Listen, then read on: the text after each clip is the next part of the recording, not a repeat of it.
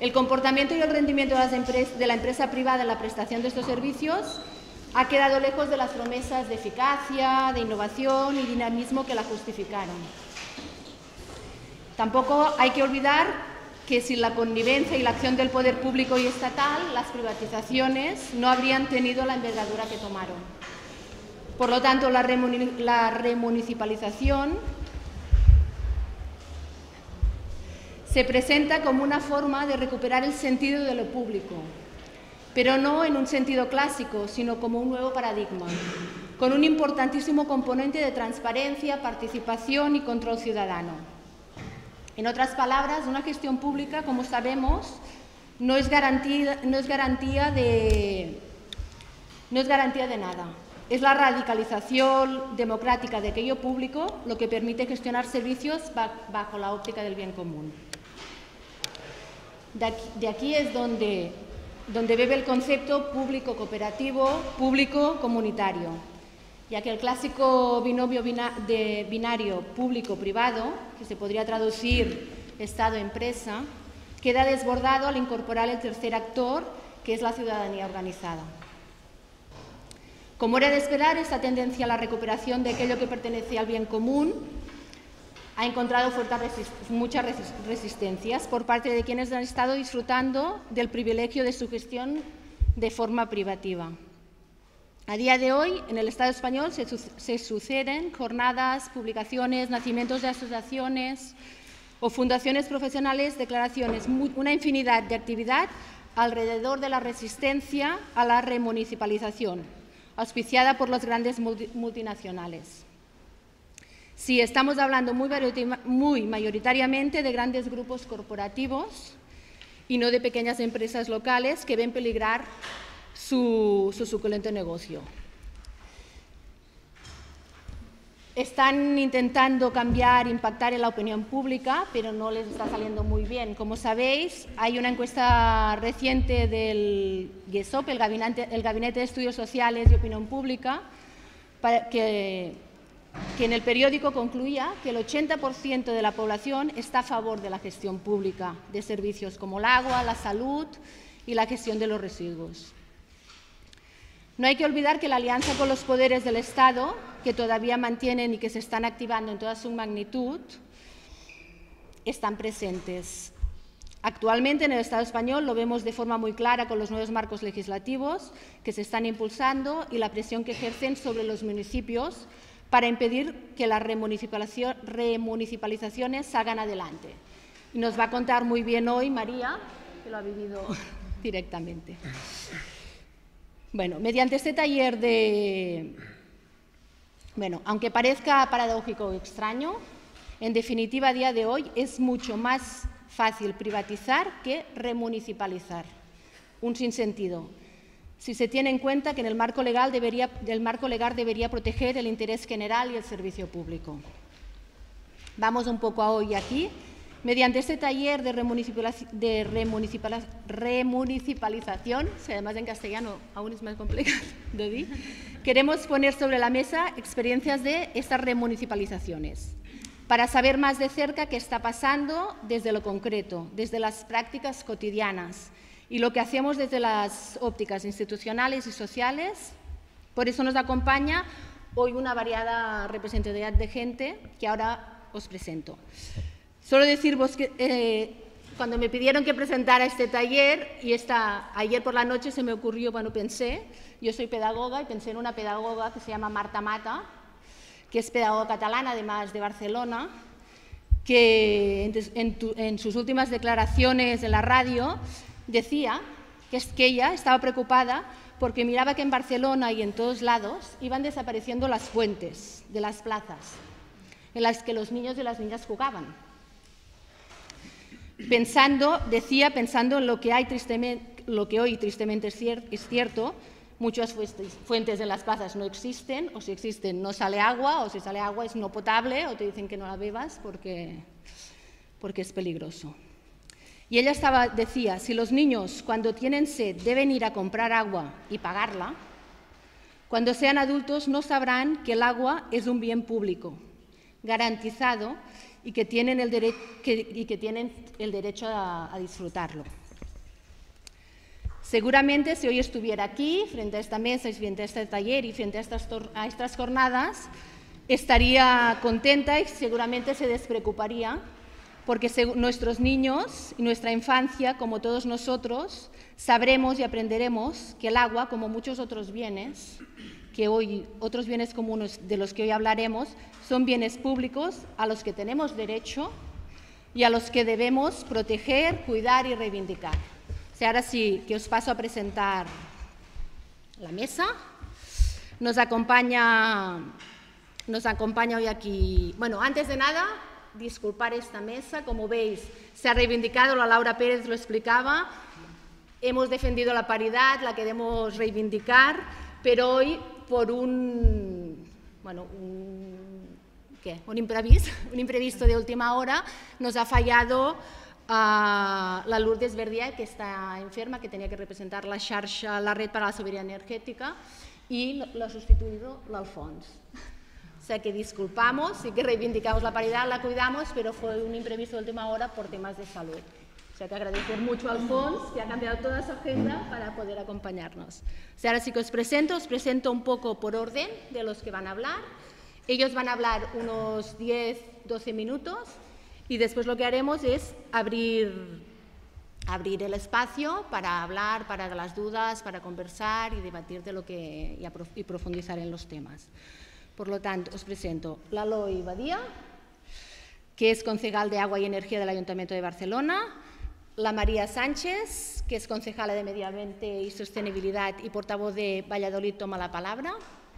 También excuso que si, si veis que María se levanta antes de que acabemos es porque tiene un avión, ella habrá en segundo lugar y tiene que agarrar el avión. Por lo tanto, quizás sale, no os penséis que sale porque ya se está volviendo, sino que, parece que, sino que tiene que irse por una urgencia. En tercer lugar, hablará Jordi Colomé, que es asesor de medio ambiente del Ayuntamiento de Sabadell. En cuarto lugar, hablará Miguel Penas, que es coordinador del Gabinete de, de, Alcaldía del municipio de Santiago de Compostela. Y en último lugar, había de hablar Lourdes, pero como os he dicho, hablará l'Alfons. L'Alfons por lo tanto, si os parece, gracias por acompañarnos vosotros todos aquí y poder compartir vuestras experiencias, vuestro saber colectivo y todos los retos que, nos, que se presentan frente a la remunicipalización. O sea que doy la palabra a la LOI.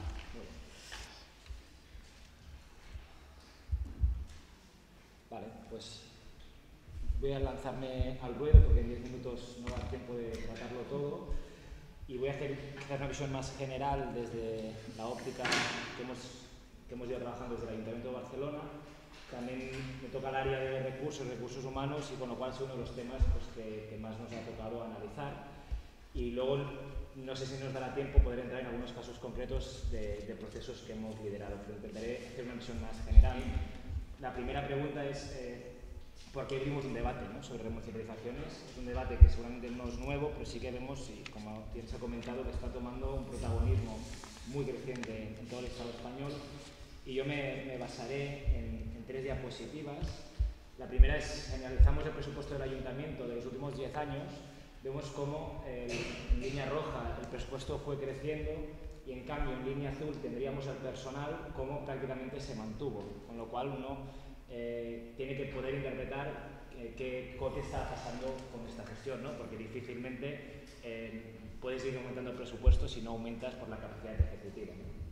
Además, si sacásemos todo el crecimiento de guardia urbana, nos daríamos cuenta que incluso el personal disminuyó en un 10% en prácticamente todas las áreas del ayuntamiento. Yo siempre cuento que cuando entramos los primeros días al ayuntamiento nos presentaban los distintos departamentos, nos presentaban mesas vacías. Nos decían, aquí falta el pedagogo, aquí falta el arquitecto, aquí falta el ingeniero, con lo cual había habido un desmantelamiento progresivo de la administración y luego veremos con qué herramientas. La primera hipótesis podría ser que el ayuntamiento dispusiera de mucho personal, con lo cual había un margen para poder seguir creciendo un presupuesto sin necesidad de crecer en personal. Pues cuando analizamos el peso que tiene el personal de Barcelona respecto al presupuesto, que serían estos porcentajes que veis, y lo comparamos con otras ciudades, vemos que Barcelona está en un 18%, prácticamente 10-15 puntos por debajo del resto de, personas, de, ciudades importantes de España, con lo cual no es que tuviésemos un personal eh, holgado, al revés, teníamos un personal muy ajustado, con lo cual esa no era la respuesta, cómo se había conseguido dar eh, esa respuesta a ese presupuesto.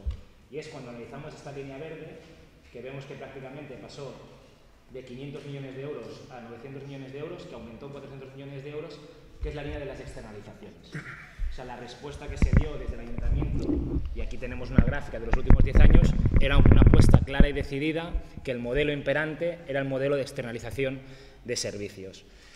Y ahí yo hago dos reflexiones. Eh, ¿A qué era debido este modelo? Y yo creo que buscaba prácticamente había dos objetivos, podríamos decir, eh, centrales, que nada tenían que ver con la cualidad del servicio, sino que eh, era una alianza que se había dado eh, entre el sector económico-financiero y algunos partidos políticos que buscaba prácticamente dos elementos. En primer lugar, debilitamiento o incluso desmantelamiento de la administración pública mediante políticas de austericidio que, hemos podido ver pues, en toda Europa, pero también en España, ahogo presupuestario, incapacidad de poder contratar, adelgazamiento forzoso, pensar que nosotros en muchos de los servicios solo se pueden reponer el 50% de las plazas, eso hace que inevitablemente, a medida que se va jubilando eh, trabajadores y trabajadoras, pues no puedas ir reponiendo esas plazas, más con los ayuntamientos en España, que la media de edad pues son medias muy altas, porque son ayuntamientos que nacieron pues, eh, después de después de la dictadura y que con lo cual ahora tenemos pues, medias de trabajadores de 50 años con un proceso, para que os hagáis una idea, en el Ayuntamiento de Barcelona este mandato se jubilarán más de mil personas. Pues imaginaros que solo podía reponer pues, la mitad de esas personas. ¿no? En algunos servicios solo la mitad, en otros, por ejemplo Guardia Urbana, sí que te dejan reponer toda la plantilla, con lo cual también vemos cómo desde las políticas y desde las leyes pues, se podía ir debilitando la administración, fomentando que tuvieras que salir por el sector privado. Durante la crisis vimos lo mismo, como la incapacidad de poder endeudarte poder hacer inversiones te llevaba pues, a la segunda idea, ¿no? el secuestro de la soberanía popular, y aquí la, la praxis es muy clara, sacamos la toma de decisiones del poder y sacamos la capacidad de ejecutar políticas de los plenos de los, de los, ayuntamientos y los trasladamos en los consejos de administración, donde esa alianza que he señalado al principio, pues ahí toma fuerza y se hace visible. ¿no? Solo podríamos ver todas estas políticas pues, acompañadas de campañas de desprestigio pues, que nos han acompañado los últimos 20 años, así como mecanismos financieros, pues cuando a Grecia se le, se le obliga para, para, hacer la quita de la deuda a privatizar servicios como el agua, si incluso se le obliga a privatizar la lotería, o sea que no hay servicio más rentable que la lotería, pues se le obliga incluso a privatizar la lotería, o lo encontraríamos con los, los créditos que da el Banco Mundial a nivel internacional, a toda América Latina, o los planes de ajuste estructural, pues todo un diseño que claramente lo que nos hacía era desempoderamos a las administraciones públicas, sacamos herramientas a los ciudadanos para poder tomar decisiones y los trasladamos a los consejos de administración. Como esto se hizo de una forma tan, tan burda, lo que nos encontramos es que en muchos casos han sido procesos pues, fallidos. ¿no? Y aquí yo he ido, si vas mirando pues, todos los procesos de remunicipalización que ha habido en todo el mundo, qué lógicas responden, pues hay muchas, ¿no? desde que no se hacía inversión ni mantenimiento para poder eh, garantizar los máximos beneficios, una baja inversión, y seguro que nos van a contar experiencias concretas, aumento de costes y por tanto aumento de las facturas y discrepancias, o sea, eh, discrepancias en qué costes se debían imputar, con qué precios unitarios y con lo cual eh, pues esa discrepancia entre el, entre el supuesto regulador y el concesionario, cortes en los servicios, esto lo encontraríamos ¿no? con aquí el fenómeno de pobreza energética, que es la incapacidad de la ciudadanía de poder acceder a los suministros básicos, con lo cual se vulnera el, servicio el principio de universalidad de todo servicio público, se vulnera el derecho humano y, por ejemplo, quizás el caso más paradigmático es que en el sector de la electricidad difícilmente podemos entenderlo ya como un servicio público cuando está dejando entre un 10 y un 15% de la población fuera del servicio y en el que se ha priorizado el lucro y el beneficio empresarial por encima de la universalidad del servicio, con lo cual ha habido una perversión total del servicio público. ¿no? Normalmente nos dirán, no, no, el servicio sigue siendo público, solo hemos privatizado la gestión, pero esa perversión en la, forma de gestionar prácticamente ha has desalmado el principio de servicio público. Otra sería eh, contradicción entre objetivos, eh, entre un, servicio público que busca, busca la asequibilidad del servicio y un, y un, concesionario que en cambio buscará la maximización, dificultades en la regulación, pérdida de conocimiento, pérdida de gobernanza, pérdida en la toma de decisiones.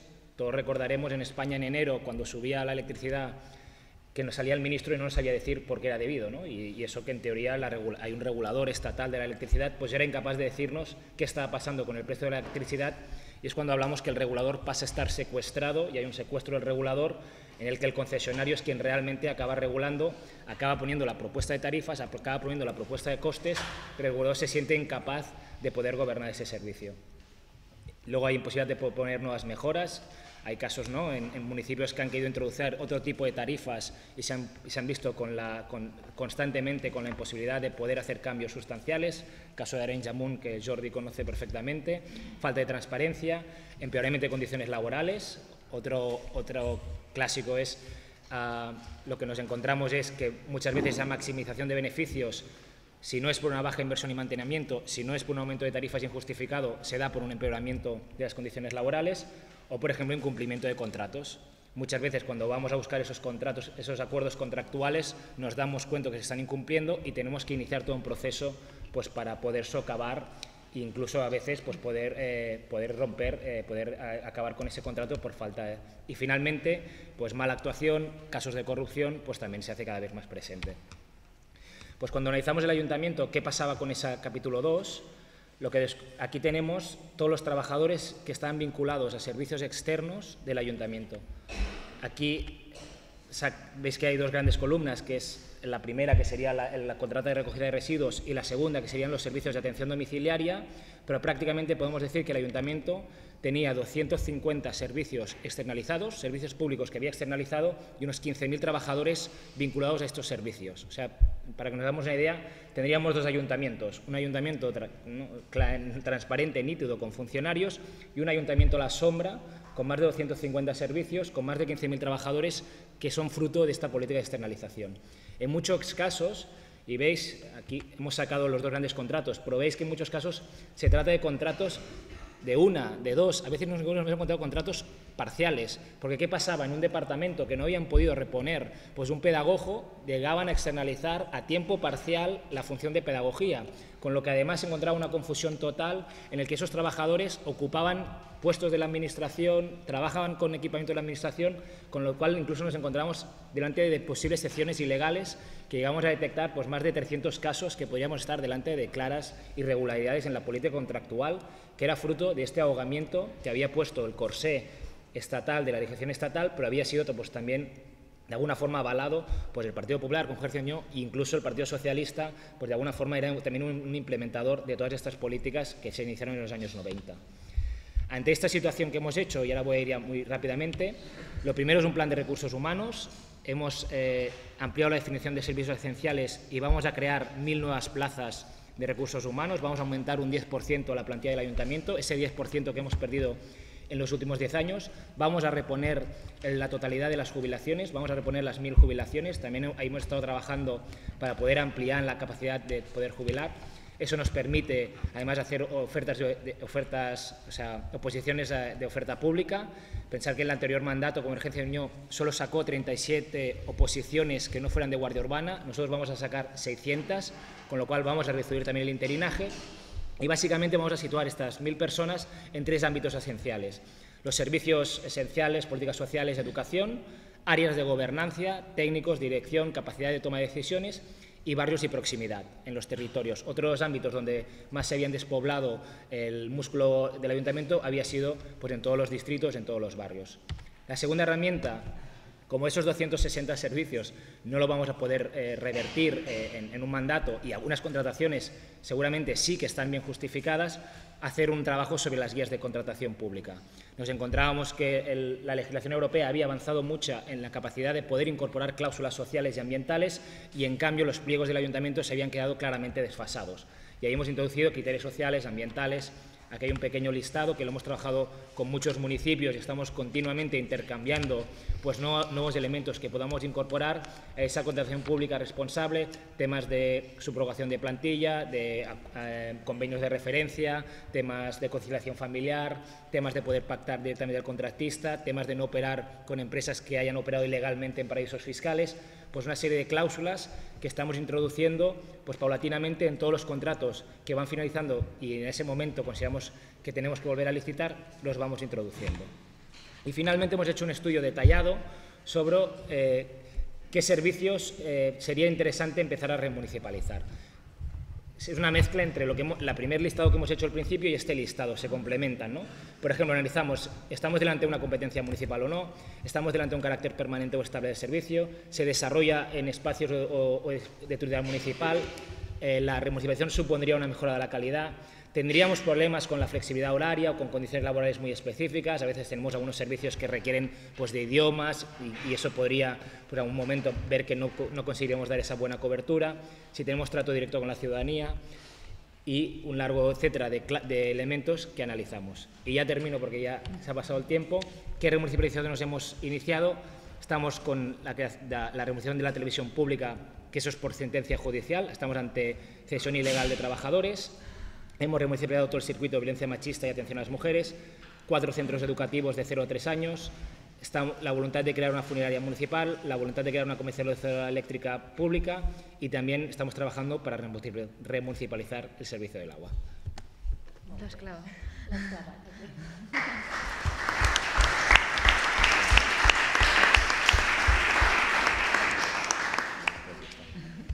Pasamos a la María. Sí, tenemos aquí el, el fichero, imagino. ¿Este? No, no, es ese. Eh, a ver, ¿cuál es? Es este. ¿En PDF? Ahí lo tenemos, sí. ¿En PowerPoint? Es, pues sí, es PowerPoint. O sea. Ah, pues es que se ha abierto el PDF. Vale, espera, a ver. Sí. Este, este, ah, es, ah, es ese. ¿Cómo? ¿Es penjarán? Los jueces pueden, tienen que decir ellos. Sí. Eh, sí, os los podemos dejar sin problema. Sí, sí. Sí.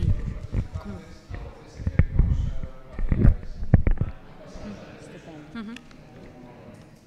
Os podemos pasar también, vamos, eh, la ponencia y, lo que haga falta. Bueno, en primer lugar, agradecer a Barcelona en Común, en nombre del Ayuntamiento de Valladolid y a la formación que represento, Valladolid toma la palabra, que nos hayáis invitado a contar nuestra experiencia. Como muchos y muchas sabéis, estamos inmersos en un proceso de remunicipalización del agua en Valladolid, tras 20 años de un contrato con el Grupo Aguas de Valladolid, Aguas de Barcelona, Grupo Agabar, que aquí le conocéis muy bien, eh, y casualmente, en el año 96, el Partido Popular entró a gobernar en el Ayuntamiento de Valladolid, con León de la Riva, también persona muy conocida en todo el Estado, y eh, al año pues, privatizaron el servicio, el servicio de aguas. Eso llevó a que la calle en Valladolid eh, tuviera las mayores movilizaciones que ha tenido la ciudad en, muchísimos años, con una recogida de, firmas muy amplia, pero bueno, el gobierno municipal por aquel entonces siguió adelante y privatizó el servicio. Y ahora, justo eh, 20 años más tarde, eh, hemos conseguido un cambio de gobierno a través de tres formaciones políticas. Y bueno, pues una de las eh, cuestiones que llevamos en el pacto de gobierno era precisamente incrementar el control y eh, la toma de decisiones en un bien esencial como, como es el ciclo integral del agua. Tuvimos suerte y muchas veces lo decimos porque no estamos ante una situación de rescate que es mucho más complicada, sino que estamos ante una situación en la que el 1 de julio, es decir, dentro de 15 días, termina el contrato con, con la actual concesionaria. ¿Qué hicimos? Nada más entrar a gobernar y yo desde el área de medio ambiente, eh, pues vimos que primero teníamos que conocer en qué consistía la red, qué datos teníamos, a qué situación nos encontrábamos para ver si era posible llegar, justo dos años más tarde de entrar en el gobierno, a hacer un proceso de reversión. Yo lo que os voy a contar también un poco es eh, en qué consiste el ciclo integral del agua en Valladolid, a ver si me da tiempo, para que os hagáis un poco la idea de la envergadura que tiene el servicio y, veáis las dificultades que nos estamos encontrando. Bien, eh, como decía, eh, el agua en Valladolid no solo sirve a la ciudad, sino que también a, varios municipios del entorno. Entonces, estamos hablando de 350.000 habitantes aproximadamente. Hay una red de alcantarillado de 777 kilómetros, hay 170 trabajadores en la actual empresa, que eso luego lo hablaremos porque los procesos de subrogación y más ahora con la nueva ley de presupuestos generales del Estado están en el foco de, este tipo de, decisiones. Y además, bueno, pues tenemos también eh, que decir que aparte del alcantarillado, el agua potable, la gestión de residuos, pues la gestión de abonados, que parece una cosa que puede ser menor cuando te enfrentas a un proceso de, este, de estas características, es una de las cuestiones que también en la que estamos encontrando más dificultades. Bien, el proceso de toma de decisión. Como os digo, eh, lo que hicimos, bueno, se ha movido un poco el PowerPoint, pero espero que lo, que lo podáis leer. Sí. Lo primero que hicimos nada más llegar, como digo, es eh, crear eh, una comisión político-técnica especializada para, bueno, pues para orientarnos y para ver en qué situación se encontraba, la red, porque éramos conscientes de que teníamos muchísimas limitaciones económicas y legales, porque como se ha comentado en la presentación, parece el mundo al revés, ¿no? Parece que lo fácil es externalizar y privatizar y dárselo a una empresa y lo complicadísimo es gestionar desde lo público por las tasas de reposición que ha comentado Eloy, pero también por muchísimas cuestiones como el techo de gasto, que es uno de los recursos que tenemos ahora encima de la mesa, interpuestos al proceso de Valladolid, tanto por el Gobierno central como por la propia concesionaria. Entonces, bueno, sabíamos que el escenario era muy complicado. Lo primero que hicimos fue crear esa comisión político-técnica especializada y en abril de 2016 tuvimos ya el primer, eh, el primer borrador de, de informe sobre la situación de la red. Nos encontramos que los 20 años de concesión, el ayuntamiento, el canon que la empresa da al ayuntamiento, que eran unos 6 millones al año aproximadamente, el ayuntamiento no lo había invertido en el mantenimiento de la red. Nos encontramos con muchísimas averías, los mal llamados reventones, que bueno, pues en Valladolid son el pan nuestro de cada día, pero eh, vimos también que, precisamente ese dinero fue a la caja común, que yo creo que eso ocurre en muchos ayuntamientos con los cánones de este tipo, y no se había invertido lo necesario. Pero eh, también vimos que había, hacía falta una inversión de cara a futuro y, por tanto, planteamos un escenario de analizar las distintas formas en las que se podía gestionar este tipo de servicios. Y analizamos dos, fundamentalmente, la directa y la indirecta. La directa a través de una entidad o empresa pública o bien como servicio público. En Valladolid, eh, además, eh, comentaba Leloy que en Barcelona está externalizado, pero en Valladolid, por ejemplo, el servicio de limpieza es público, tiene muchísimos trabajadores y trabajadoras y, por tanto, conocíamos bien lo que es gestionar desde un servicio, esas dos eh, vías, pero también analizamos la concesión y la empresa mixta, porque la empresa mixta muchísimas veces parece que es la salida cuando, digamos, no llegas a remunicipalizar, pero bueno, vimos que, que tenía, por así decirlo, las ventajas que podría tener una concesión a nivel de comodidad, pero todos los inconvenientes que tiene una concesión también a la hora, a la hora de gestionarlo. Después de esa elaboración de informes sobre alternativas, la conclusión era clara, sobre todo desde el punto de vista económico, y es algo muy sencillo.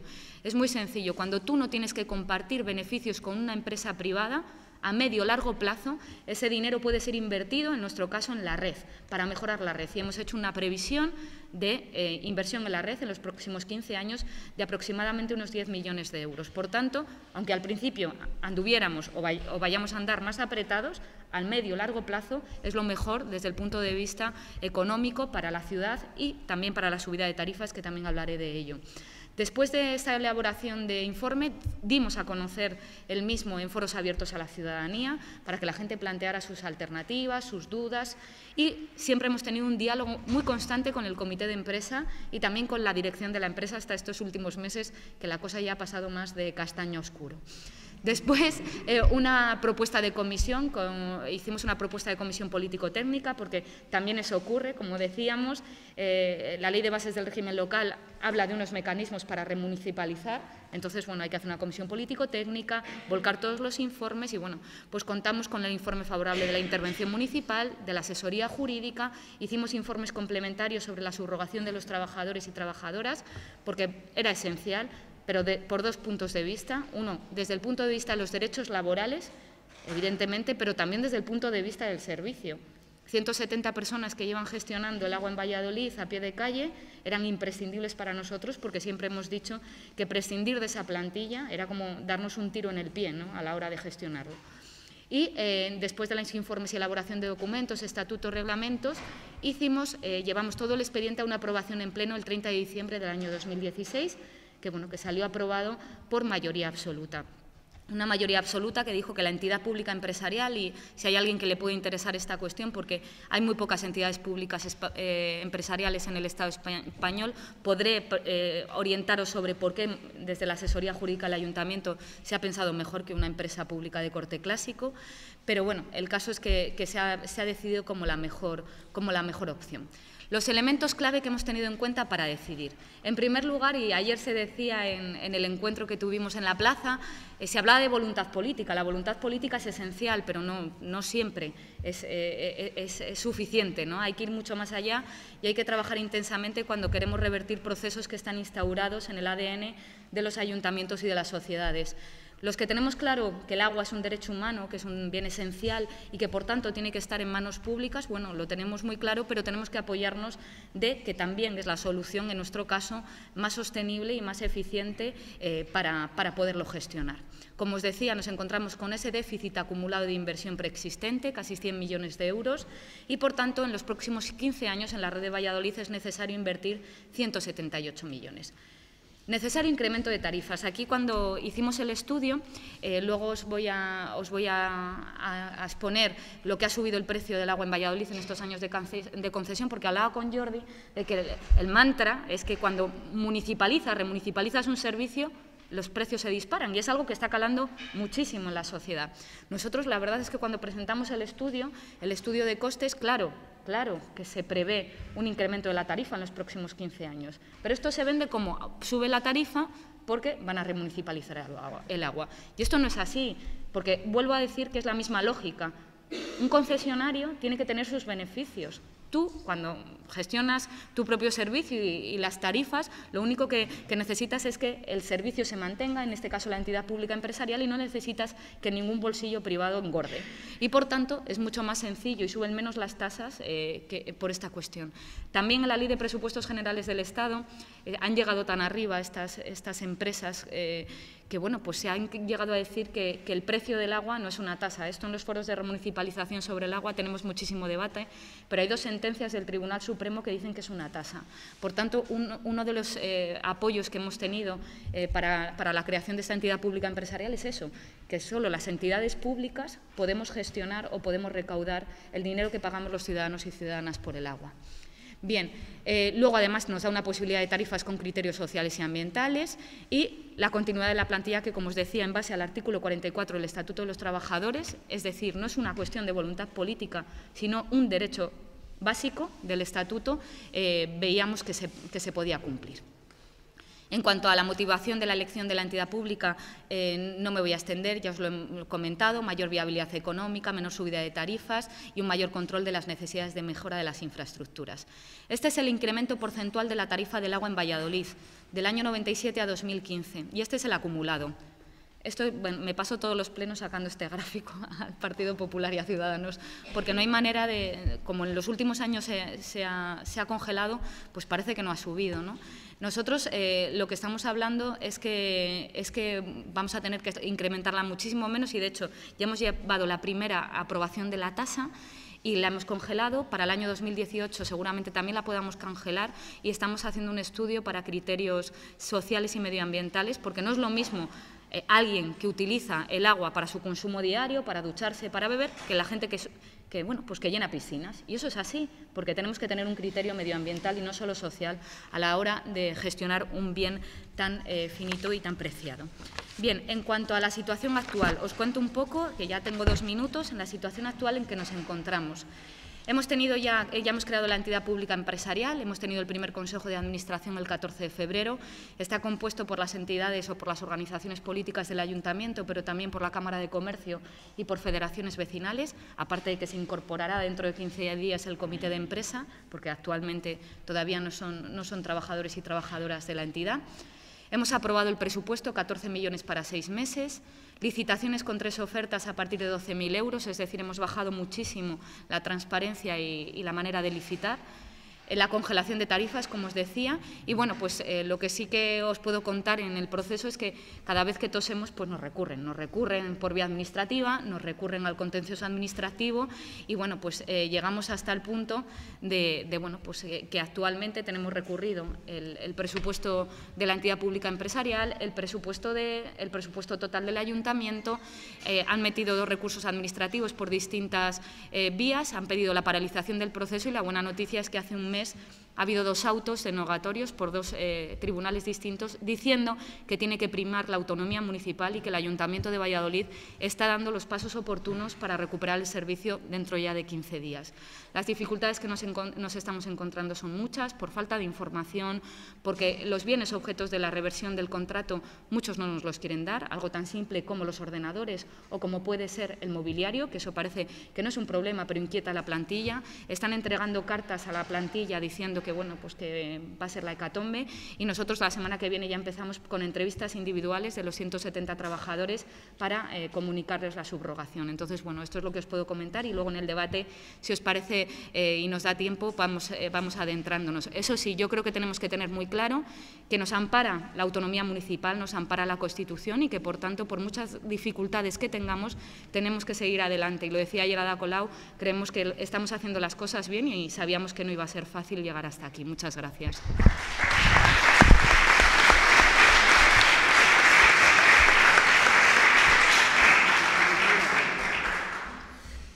Moltes gràcies, Maria. En Jordi? On t'asseuràs?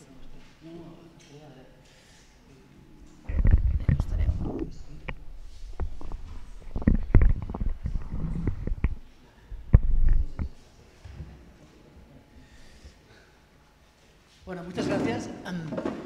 Voy a cambiar de escala a una escala mucho más micro. Ah, nos situamos en el municipio de Arenys de Munt entre los años 2011 y 2013, donde durante esos dos años eh, estuvo, existió un experimento político que se llamaba un gobierno ah, entre la CUP y Convergencia y Unión. Que, claro, el experimento duró solo dos años porque cuando intentamos remunicipalizar la recogida de residuos, pues la convergencia no le moló y nos echó fuera. ¿no? Pero durante esos dos años nos planteamos municipalizar seis servicios. Ah, el primero fue el servicio de abastecimiento de aguas, que de hecho ya venía del, del, del, mandato anterior, ¿no? del 2007-2011, ah, pero que se empezó a ejecutar en el, en el 2011 el de agua no os voy a, contar demasiadas cosas porque de hecho ya, hay mucha documentación que lo está hablando. Lo que sí que voy a contaros es que Akbar está llenando todos los foros de aguas diciendo que la remunicipalización encarece el servicio y pone como ejemplo el caso de Arenys de Munt. En Arenys de Munt, el 2011, cuando se recupera el servicio, después de 10 años de Sorea, en el que hay más pérdidas en la red, hay, menos ah, rendimiento que el que había antes de, la, concesión, ah, no, se incrementan tarifas, no se incrementan tampoco en el 2012, tampoco en el 2013, ¿no? y se incrementan en el 2014 cuando Sorea, que es, que es una de las participadas de Akbar, que vende el agua ah, en alta a, la empresa pública de Arenys de Munt, sube la tarifa y entonces eh, el servicio público de Arenys de Munt no tenemos más remedio que subir también la tarifa para repercutir esa subida. ¿no? Es decir, que la subida del agua pública de Arenys de Munt eh, se produce porque eh, Sorea, es decir, el grupo Akbar, ¿no? le sube la venta de agua. ¿no? Pero ellos van diciendo que, se, que sube porque, por culpa de la remunicipalización. ¿no? Bueno, esto es el servicio de aguas. Después empezamos a, a, tuvimos la suerte que se nos acababan otros cinco contratos. ¿no? El contrato de las, de las, de las guarderías, en el, en el cual ah, lo que hicimos fue ah, plantear directamente la, municipalización. Debo confesar que lo hicimos por cuestiones ideológicas, ¿no? es decir, tienen razón los que dicen que municipalizamos ideológicamente, pero empezamos a hacer números y nos dimos cuenta que además nos salía más bien, ¿no? con una excepción que fue el caso de las, de las, de las guarderías no sé cómo os digo, colaboración. Guardería, está bien. Vale. En las escuelas infantiles. Ahí, ahí que nos encontramos. Ahí nos encontramos que la, la empresa estaba incumpliendo en, en, varios elementos del contrato, un, un elemento recurrente, ¿no? Básicamente lo que hacía era Ah, utilizaba los títulos de, maestras de educación infantil de la, gente que tenía contratada, pero no las pagaba como maestras de educación infantil, sino que las, pagaba como técnicas de educación infantil que tiene un salario menor. ¿no? También estaban ah, cobrando justo el, sa- el salario de, de convenio, que era un salario muy bajo, ¿no? Y además nos hacían la púa en, en- en el balance económico, no incorporaban los gastos y los ingresos del comedor, que era un servicio que era muy rentable, de, de forma que cada año cuando nos presentaban la liquidación al ayuntamiento salía pérdidas en el servicio, de forma que el ayuntamiento tenía que poner más dinero. ¿no? Pues nos dimos cuenta que los técnicos municipales no estaban haciendo bien su tarea ¿no? de fiscalizar el servicio y bueno, lo incorporamos y nos dimos cuenta que se les estuvo pagando de más durante varios años. ¿no? Municipalizamos el servicio y mm, nos encontramos que estamos en, en la, en la tesitura de que la Generalitat estaba bajando las aportaciones a, a las escuelas infantiles ¿no? y nos sentamos con todos lo- los padres y las madres, ah, les explicamos los números que había y que mm, habíamos de decir ahí conjuntamente si cerrábamos la escuela o la, o la mantenemos abierta. ¿no? El ayuntamiento no podía cubrir todos los gastos del- de la escuela infantil, ah, lo que dejaba de pagar la Generalitat y además mm, nosotros sentíamos que el precio que se les pagaba a las educadoras era demasiado bajo, hicimos una propuesta de incrementar salarios. ¿no? Total, que los padres y las madres acabaron decidiendo de in- incrementar su, la, la cuota ¿no? de, de la escuela para que las, las maestras puedan tener ah, salario digno ¿no? Y em, nos dedicamos a, a internalizar el servicio. Luego, si queréis, podemos hablar de, de cómo ah, internalizamos las plantillas, porque en cada uno de los cuatro casos que acabamos ejecutando lo hicimos de formas distintas. ¿no?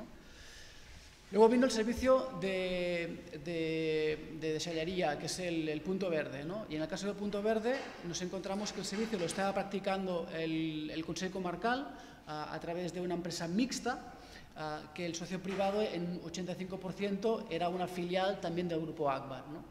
Y ahí cuando empezamos a hacer el servicio, lo que nos dimos cuenta es que ah, el, el estudio económico contabilizamos que em, conseguiríamos un 20% de, de- de ahorro económico, pero cuando ejecutamos el servicio, el servicio ese ahorro económico estaba en, en más de un 30%.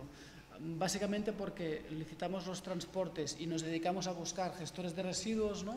y nos dedicamos a recuperar materiales y vendíamos esos materiales y con eso tenemos ese margen económico tan, tan bestia que básicamente ah, en la gestión indirecta con la empresa del grupo Akbar ¿no? pues se dedicaban a, a- cooptar ellos. ¿no? Además, en el servicio de, de Punto Verde incrementamos el, el personal con, es decir, duplicamos el personal, había una persona y colocamos ahí dos. Y bueno, el servicio pues ha, mejorado y la percepción de los vecinos pues es, es- es muy positiva respecto al, al punto verde. Ah, otro servicio que también se acababa el contrato era el servicio de limpieza de edificios, en el cual había una tensión importante porque todas las trabajadoras se quejaban de que les hacían ah, trabajar en horas extras y que no les cobraban. ¿no? La empresa se quejaba de que ah, el servicio valía más dinero que el que el, municipio le pagaba y los responsables de cada uno de los, de los edificios municipales se quejaban de que la empresa no limpiaba suficientemente. ¿no? Y hicimos el estudio y nos dimos cuenta que nos estaban estafando 1.700 horas, es decir, una persona, ¿no?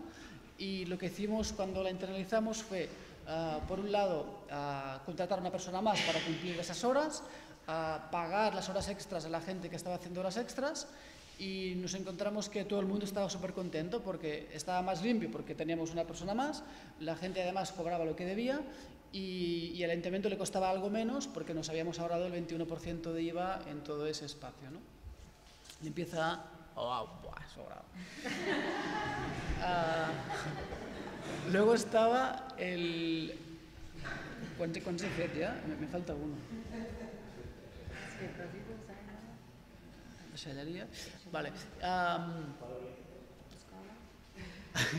entonces, eh, estudiamos, eh, me falta uno y no sé cuál es. Ah, el, alumbrado y los residuos son los que no acabamos internalizando. Bueno, también os cuento estos y ya saldrá el cuarto. Ah, en el, el alumbrado, el alumbrado público. El alumbrado público nos encontramos primero que había unos, unos pliegos de condiciones que eran imposibles de cumplir. ¿no?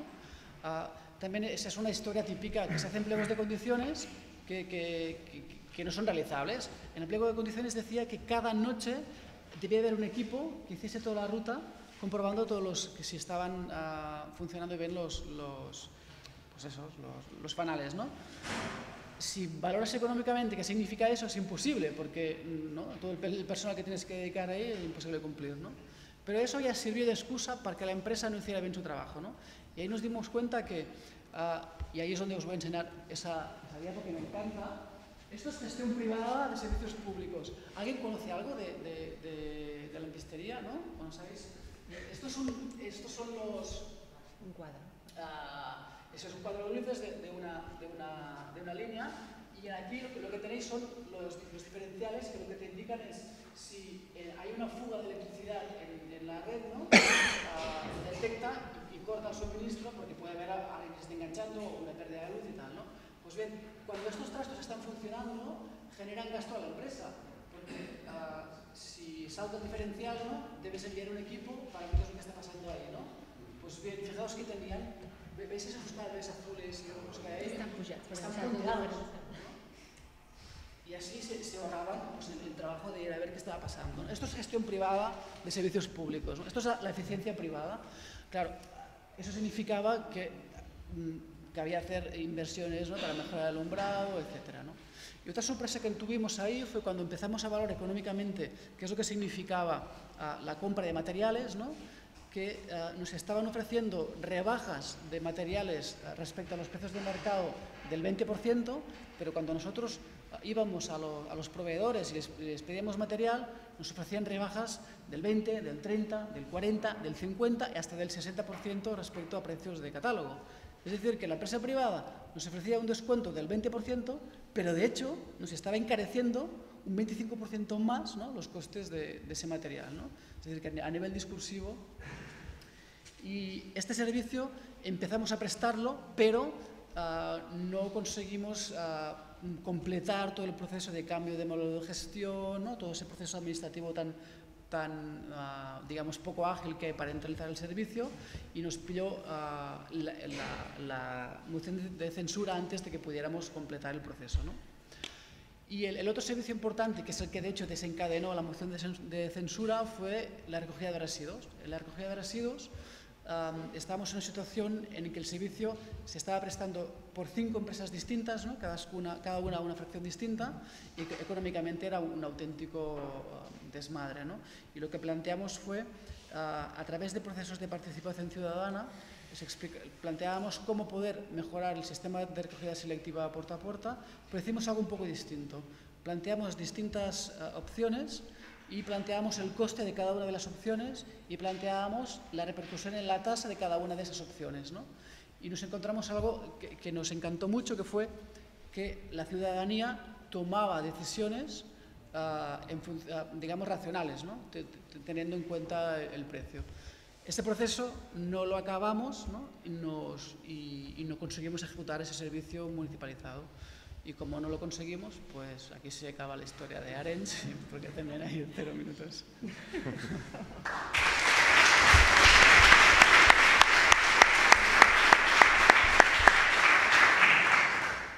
Pasamos la palabra a Miguel.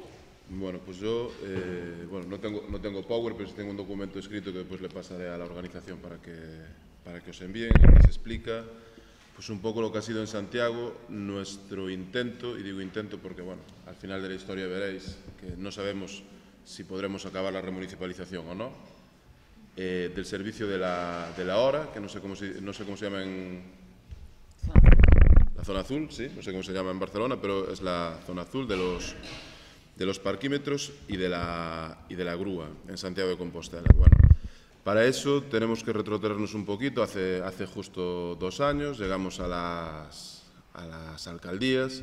El contexto de Santiago de Compostela, yo siempre explico que políticamente, eh, aunque en, en, dimensiones totalmente diferentes, es bastante parecido a, a Barcelona. Santiago, eh, desde el año 87, siempre ha tenido primero un gobierno eh, con alcalde del Partido Socialista y después 12 años de un bipartito que era el Partido Socialista y el Bloque Nacionalista Galego, ¿no? un, bipartito de izquierdas. Antes de que llegásemos nosotros, por primera vez, la derecha, que en este caso el Partido Popular, eh, pues había, había alcanzado la alcaldía por primera vez y solo había estado cuatro años. Explico todo esto porque Nosotros eh, no teníamos en el punto de mira eh, la remunicipalización del servicio de hora y de grúa. Eh, bueno, tal y como explicó Eloy, eh, tienes, que, tienes que escoger, porque en, en, la dinámica de los últimos años, básicamente los, los ayuntamientos, aunque fuesen de, y por eso explicaba el contexto, aunque fuesen de izquierdas o de, bueno, del PSOE con, con aliados, lo que han hecho básicamente es privatizar. Santiago tiene una situación muy parecida en la que básicamente nos encontramos una plantilla municipal que está muy envejecida y, y, muy reducida. A nosotros también nos ha pasado lo de nos falta gente, o sea, no hay, no hay, no hay gente. Y por el contrario, se ha eh, privatizado pues prácticamente, bueno, todo no, pero, pero casi todo. No, no, no se han incorporado eh, elementos públicos. Entonces, en septiembre, de, del 2015, cuando llevamos allí cuatro años, resulta que llegó una sentencia que anula el contrato de, la hora y de la, grúa. Entonces, aquí se nos crea una, una oportunidad. Una sentencia que anula un contrato que además se había iniciado con el último gobierno bipartito, pero que lo había adjudicado el gobierno del PP. Eh, y además la empresa, eh, la empresa eh, que, de, que, denunciaba, la empresa denunciante, que era la que había quedado de segunda en el, en el contrato, era una de las empresas que estaban siendo investigadas dentro de la, de la trama Pokémon. Era una empresa que pertenecía al grupo Vendex. ¿no? Entonces, en ese momento nos aparece la, la oportunidad, eh, la sentencia no nos aclara o no nos indica que, que, tengamos que adjudicar, porque normalmente lo habitual es que las sentencias, porque nosotros hemos ya tenido varias, de escuelas infantiles, de varios servicios que nos han hecho eh, paralizar un contrato, volver a mesas de contrataciones de dos o tres años antes, que continúen las mesas y que tengas que acabar adjudicando otra empresa. En este caso, en principio, no, no, no nos indicaba eso. Entonces nosotros eh, nos planteamos si sería una buena oportunidad que antes de, bueno, pues antes de abarcar otras municipalizaciones más complicadas, como es la del servicio de agua, que también la tenemos en, en mente, eh, si sería bueno o no eh, municipalizar el servicio de hora y grúa. Y además lo, lo planteamos así, porque cuando, cuando tú planteas este tipo de, mm, de posturas, los medios de comunicación o todo el entorno pues te, te, coloca como si fueses irresponsable, como si no supieses muy bien lo que haces y tal. Nosotros en todo momento nunca dijimos que íbamos a, a municipalizar al principio, dijimos, lo vamos a estudiar, vamos a hacer los estudios, vamos a hacer, eh, vamos a ver si es posible, vamos a, a trabajar siempre sobre, sobre seguro. Eh, problemas, que problemas que teníamos, eh, claro, los, los 41 trabajadores. ¿Cómo se puede incorporar 41 trabajadores a una plantilla del ayuntamiento o de una empresa pública eh, con, la, con, la, legislación actual? Intentamos también conocer el servicio, un servicio que no fue, no, fue fácil, no fue fácil de conocer y yo creo que aún no lo conocemos exactamente, porque bueno, las, el control del contrato que tenía el ayuntamiento pues era bastante deficiente. No sabíamos muy bien ni, ni, ni, quién ejercía el, ni quién ejercía el control, ni cuánto ingresaba exactamente la empresa al ayuntamiento, ni... Bueno, había muchas, había muchas, muchas lagunas, ¿no? Entonces, en ese momento lo que hacemos es tomar la decisión de utilizar una empresa pública que tiene el ayuntamiento, que es una empresa pública de, de transportes, que se llama Transportes Urbanos de Santiago, Sociedad Anónima, TUSA, para, eh, desde la empresa, estudiar la viabilidad de, esta remunicipalización. ¿no? Entonces, nuestra Junta, lo llevamos a Junta de Gobierno, la Junta de Gobierno de Santiago le pregunta a la empresa pública si la empresa pública estaría en disposición. Todo esto lo vamos haciendo durante 2016. La, eh, la Junta de Gobierno le pregunta a la empresa pública si se ve con capacidad eh, de, de poder gestionar el servicio de grúa y de hora. Mientras, mientras, la empresa pública va haciendo los correspondientes estudios, también llevamos al Consejo de Administración de la empresa pública, en la que están, está también la oposición, llevamos la modificación del objeto de la, de la, empresa, porque esta empresa lo que gestiona fundamentalmente es el, el transporte, el transporte urbano. ¿no? El transporte urbano y dos parkings públicos que hay en, que hay en Santiago. Entonces, nosotros, como el transporte urbano eh, lo tenemos que concesionar este año nuevamente, hablamos el año pasado, ¿te acuerdas? Que hablamos algo de autobuses. Eh, pues veíamos que, y como Santiago además es una ciudad que en este momento necesita dar una repensada a la, a la, a la movilidad, veíamos la oportunidad de poder eh, bueno, pues combinar, combinar todo, una nueva zona azul, posiblemente más, bueno, más zonas azules, posiblemente, más zonas peatonales, y nos parecía que desde lo público y desde la empresa que actualmente estaba gestionando ya eh, parkings de, de, Santiago y que además eh, gestionaría mediante una concesión diferente a las que había hasta ahora, pero posiblemente, posiblemente no, seguro que mediante una concesión, bueno, pues hacer una, una gestión integral.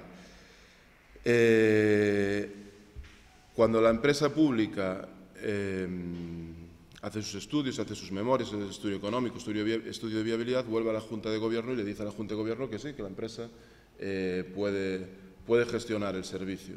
Y entonces es cuando llegamos a la, a la propuesta de, de, ir a pleno y preparamos la, la iniciativa para, para, ir a pleno.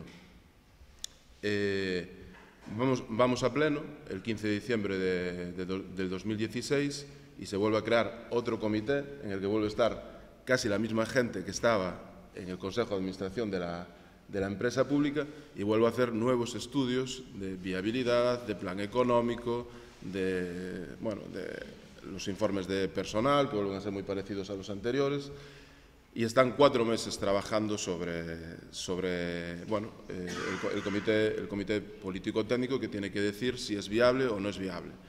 Cuando el comité político-técnico dice que sí es viable, bueno, si es viable, solo con, solo con nuestros votos, porque la oposición se nos, se nos, se nos, bueno, se nos quedó atrás o no nos, quiso, no nos quiso apoyar. Volvemos a pleno, volvemos a pleno y llevamos eh, la, volvemos a pleno en abril y llevamos la exposición, bueno, la, inicia, la iniciación del, procedimiento de gestión directa de los servicios a través de la empresa pública TUSA.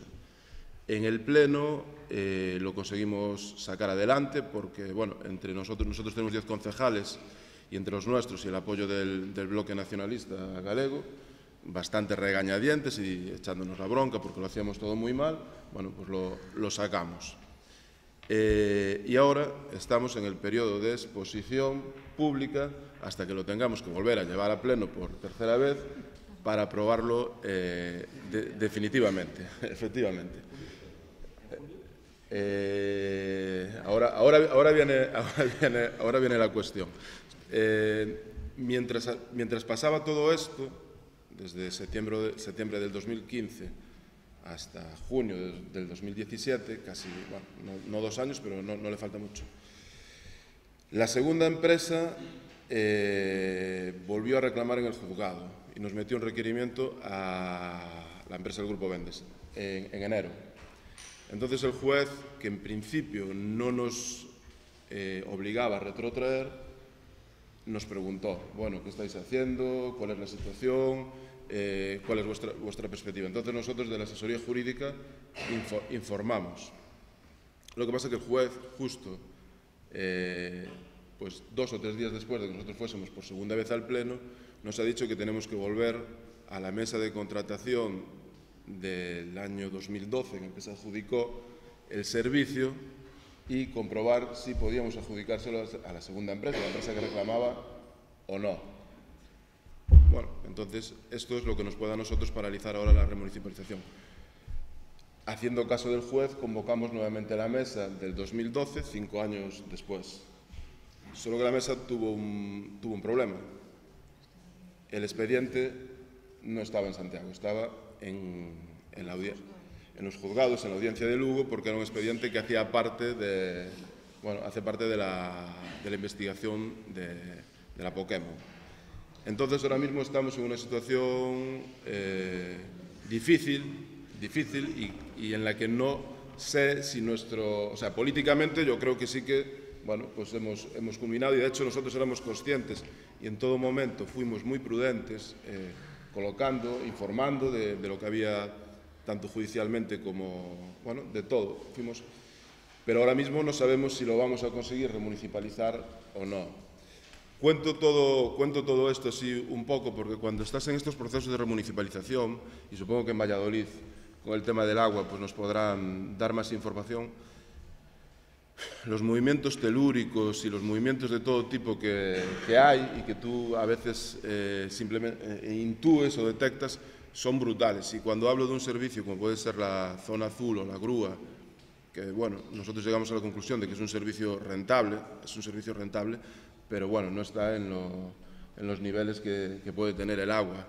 En Santiago el contrato del agua lleva con la misma empresa, que es eh, se llama allí, pero es Akbar también. Eh, tampoco tiene control y tampoco es un servicio sobre el que nosotros sepamos exactamente cómo, cómo funciona. ¿no? Entonces, eh, perspectivas para el futuro. En principio le vamos a meter el diente al, al servicio del agua, pero ahora sí que somos conscientes de, de, lo complicado que es. Nosotros tardamos mucho en, tardamos mucho en tener la iniciativa y en, conseguir saber cuál es el guion exacto para, para afrontar una remunicipalización porque primero en el ayuntamiento no había nadie que nos, no había nadie que nos pudiese guiar. Y eso es así. Tenemos cinco meses o seis meses en los que perdimos hasta que nosotros tenemos un asesor jurídico que sí que, que es una persona que nos asesora y que nos indica, oye, si lo queréis hacer, lo, tenéis que hacer así y que nos permite ir sobre, sobre seguro. Pero eso es fundamental y después es también fundamental tener los, las mayorías en el Pleno. Eh, las mayorías en el Pleno porque en este caso, y, y acabo, en este caso es muy gracioso todo nuestro proceso porque la gente que está en el Consejo de Administración de TUSA, la gente que hace, que hace parte del comité político-técnico, siempre son los mismos. Entonces siempre, siempre, se han, siempre se han unido, siempre se han reunido y siempre han aprobado informes casi las mismas personas. Entonces, bueno, pues es bastante, bastante curioso y espero que en breve pues os pueda decir si en Santiago conseguimos remunicipalizar o no el servicio de grúa y ahora, porque ahora mismo es una, es una incógnita.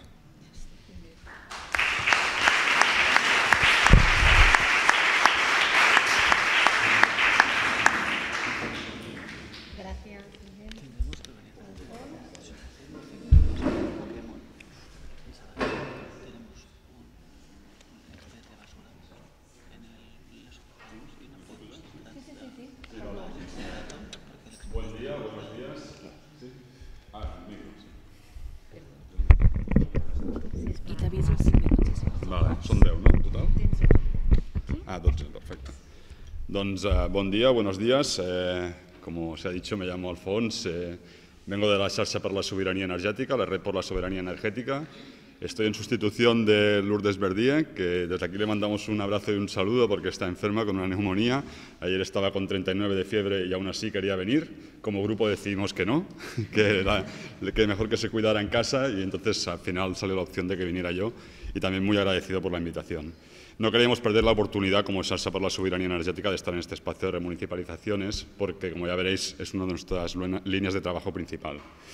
Tendría que hacer como dos eh, históricos o dos backgrounds, que sería el, de la Sharsa y luego del, del, sistema eléctrico, en 12 minutos y explicarnos nuestra propuesta, imposible. Entonces, eh, hago dos flashes sobre las dos cosas y luego entro en materia de lo que nos más nos interesa. La Sharsa nació ahora hace cuatro años con, con, la intención de la creación de un frente político de transformación en la energía, o sea, de politizar el discurso energético. No solo es un discurso de, de expertos y expertas de, de, la materia, sino también eh, es un discurso eh, político. Tenemos, eh, hemos hecho muchas cosas en estos últimos cuatro años, desde participar en el multireferéndum con una pregunta, desde hacer una, pre, una, propuesta municipalista para las últimas elecciones municipales. Eh, organizamos anualmente lo que le llamamos VOLT, un recorrido de activistas con un autocar por los territorios afectados por grandes infraestructuras energéticas, pero nuestra línea de trabajo, y muy en relación con lo que se está hablando aquí, nuestra línea de trabajo principal o el foco principal es recuperar el control de la energía a través de un proceso de remunicipalización de las redes de distribución eléctrica. Ya sé que no suena muy sexy, pero ha sido una, una, una, decisión colectiva porque creemos que, que ahí está uno, uno, de los espacios realmente de control del sector eléctrico. Haciendo un análisis de las dinámicas de poder que se dan dentro del sector eléctrico, creemos que la distribución eléctrica es un punto de palanca para revertir la situación de oligopolio. Como os decía, un poquito de, de, de, explicación de cómo está hecho el sector eléctrico, sobre todo a partir del proceso de, de liberalización en el año 98, se segmenta el sector eléctrico en producción, transporte, distribución y comercialización. Producción y comercialización están liberalizadas, este es un mercado en el que puede entrar cualquiera. eh, transporte y distribución están reguladas. Es decir, los que están eh, haciendo esta actividad al principio de cada año ya saben qué retribuciones van a recibir por, por, ejecutar su actividad. Y esta actividad, concretamente la de distribución, que al final, para explicarlo fácilmente, son los cables que transitan por nuestras ciudades, nuestras vilas y nuestros pueblos para llevarnos la electricidad a casa, y también está incluido ahí los contadores, esta, esta esta actividad concreta está cooptada por un 98% por el oligopolio eléctrico. Estas cinco grandes empresas, principalmente tres, Endesa, Gas Natural y Iberdrola, que tienen el control estratégico sobre esta actividad. Entonces siempre tenemos el debate de si es una cuestión, o sea, si quieren tener esta actividad porque es una cuestión de, lucro, de dinero, o si es por el control estratégico. Evidentemente es por las dos, pero la, parte de lucro, por ejemplo, en el tal como está montado el sistema eléctrico, eh, es mucho más fácil eh, ganar grandes cantidades de dinero manipulando el, mercado marginalista eléctrico, con unas martingalas que montan. ¿no? Eh, Iberdrola ha estado denunciado dos veces por eso. Es mucho más fácil ganar grandes cantidades de dinero en la parte de producción, pero la parte de distribución, como os, decía, es como una especie de embudo, todos tenemos que pasar por ahí y, es, un, es un espacio de control estratégico. Entonces, ¿por qué proponemos esta remunicipalización de la distribución? Una, eh, como os he dicho y he repetido, porque es un espacio de control estratégico. Dos, porque son las empresas distribuidoras las que finalmente ejecutan los cortes de, luz. Entonces, tiene una componente fuerte si queremos luchar contra la pobreza energética. Tres, eh, son las que otorgan las condiciones para los nuevos puntos de, conexión. Por tanto, si pensamos en un futuro renovable de, generación distribuida, es importante que tengamos bajo nuestro control las distribuidoras eléctricas. Eh, y cuatro, y bastante importante, eh, se está dando lugar ahora mismo un cambio tecnológico en las redes de distribución eléctrica hacia lo que se llaman smart grids, ¿no? las redes inteligentes dentro de las ciudades inteligentes. Eh, pues este cambio tecnológico hace que no tengamos que pensar solo la electricidad como electrones, sino también como información, datos van a correr muchísimos datos por las redes de distribución y controlar esos datos, quien controle esos datos también tendrá un control estratégico sobre el sector, no sobre, sobre el sector, sino sobre muchas otras cosas. ¿Qué posibilidades hay de remunicipalizar? Pues eh, intenciones muchas, posibilidades eh, difíciles. Eh, nos encontramos con diferentes marcos legales que no lo facilitan, sobre todo el marco legal español. las competencias en energía no están en el ámbito municipal, hay muy pocas en el ámbito autonómico, están todas bien centralizadas. Eh, hay que decir que sí que hay experiencias municipales de distribuidoras municipales. En el Estado español hay 327 distribuidoras que no son las grandes. Eso no quiere decir que sean municipales. Por ejemplo, Cádiz tiene una distribuidora municipal en un 55%, un 45% Endesa. Y en, Cataluña, por ejemplo, tenemos eh, seis municipios con distribuidoras locales es cuando interactuamos con estos municipios nos explican las experiencias, ahí vemos la diferencia sustancial de lo que es un servicio municipal de distribución eléctrica. Por ejemplo, cuando le preguntamos al Santi de Almaná, que es un pequeño, un pequeño pueblo de Lleida, cómo luchan contra la pobreza energética, si les ha servido de algo la ley esta que, sacamos en Cataluña, la 24-2015, él nos dice, no, nosotros llevamos 90 años luchando contra la pobreza energética. Nosotros conocemos a cada uno de nuestros vecinos y no le cortamos la luz porque sí. Esa, esa, diferencia sustancial eh, con la la concepción de, negocio que tiene el oligopolio es la que nos hace eh, em, empujar por esta remunicipalización. Entonces, dentro del marco hemos hecho un estudio jurídico y dentro del marco jurídico se abren algunas posibilidades, a cual más compleja, para intentar remunicipalizar estas redes. La primera sería comprar la red. Pero bueno, para comprar la red, una, tienen que quererla vender, entonces dos, tenemos que tener el dinero para poderla comprar. Y pongo esta opción aquí porque sí que otras ciudades europeas, como por ejemplo Berlín y Hamburgo, han tomado esta decisión y han, decidido comprar, red, comprar la red previo referéndum municipal de si querían remunicipalizar las redes de distribución. Porque también, en su caso, y, en, el, en el caso del Estado español no funciona así, la, mm, gestión de la distribución eléctrica está por un tiempo determinado, por una, eh, eh, concesión, a 20 años. Eso, está amparado una, en una directiva europea que no está transpuesta en el orden jurídico del Estado español y por tanto aquí las empresas eléctricas, las distribuidoras, ejercen esta, esta gestión de la distribución a perpetuidad. No hay ese tiempo, o ese límite temporal que, como os decía, para Hamburgo y para Berlín fue el punto de inflexión para abrir el debate público sobre esa posible remunicipalización. Otra opción sería la expropiación, porque lo contempla la, el sector, eh, la ley del sector eléctrico. Cuando vimos esa posibilidad, pues decimos, sí, sí, expropiación. Eh, cuando nos metimos en el artículo de, expropiación, vimos que lo que estaba diciendo el artículo de, expropiación sobre la ley del sector eléctrico es cómo las empresas eléctricas podían expropiar terrenos para poder tener la servidumbre de paso para sus eh, instalaciones. No era nuestra entonces, el tema de la, de la expropiación eh, es bien complicado. otra opción serían las líneas directas. bien. Las líneas directas sería eh, conectar directamente eh, zonas de producción con zonas de consumo, pero no pueden estar esas zonas de consumo conectadas en ningún punto con la red de distribución local, porque por la idea de monopolio natural, en el momento en que haya una conexión con la distribuidora local, esas redes pasan a, la, propiedad de la distribuidora local. Es decir, es una opción también bastante complicada. Sería como en núcleos eh, aislados que quisieran conectar desde la producción al, al, consumo de manera directa y sin estar conectadas en ningún otro punto con la red de distribución local. Otra posibilidad sería constituirse como distribuidora o comprar una distribuidora que ya, ya esté en servicio. Eh, eh, constituirse es bastante complejo, comprarla, pues existen posibilidades. Evidentemente no queremos comprar una que ya funcione, sea autónoma y no sea del oligopolio. Es decir, se, contempla esta posibilidad si la, compra-venta es, es un acuerdo entre las dos partes eh, justo. Esa sería una posibilidad para intentar penetrar la parte de distribución. Y, la última, la que os comentaba, em, hay una directiva europea que es la 2009-72 que dice que tiene que haber una separación efectiva entre la gestión y la propiedad de las redes de distribución. Esto en el Estado español tampoco se ha traspuesto, o sea, no hay esa separación real. Es decir, nosotros hemos hecho un estudio histórico de, cómo se han ido eh, haciendo las redes de distribución y al final la conclusión que hemos llegado, de manera más justa o injusta, es que la propiedad de las redes es de, en su mayoría del oligopolio. Entonces, quizás desde lo municipal se podría entrar a la gestión de esa red, ¿no? si se abriera la gestión, pero nosotros no renunciamos a la propiedad de la red, nosotros queremos tener esos activos en, eh, nosotros. ¿no? O sea, el tema de, abogar por una gestión y no, acabar teniendo la propiedad de la red para nosotros es una opción parcial. Por último, también comentar, y, esto os lo, he redactado esta mañana de un correo que, que me ha pasado un compañero, que, está la posibilidad de, las tasas municipales.